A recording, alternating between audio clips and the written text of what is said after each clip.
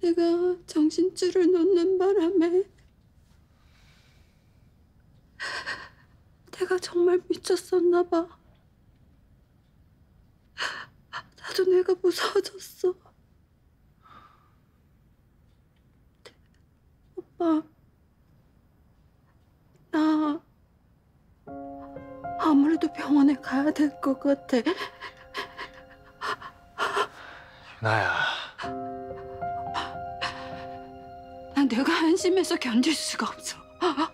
우리 새별이 잘못했을 거 생각하면 나 정말 죽어버릴 것 같아.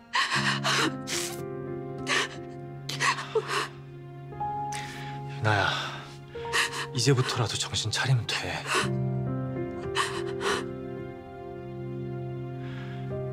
우리 때문에 애들까지 불행하게 만들지 말자.